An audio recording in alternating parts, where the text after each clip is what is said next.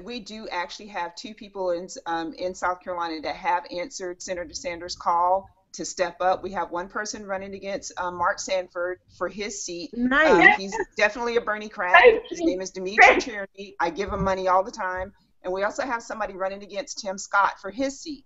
Um, Okay. Another Bernie crat named Pastor Thomas Dixon. So if you guys, Okay. yeah, he's great.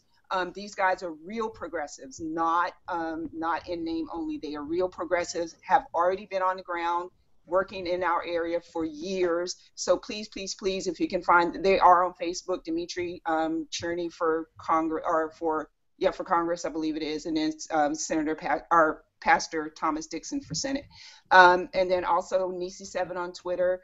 Um, Nisi Mosley on Facebook, and can email me too, Nisi4466 at gmail.com.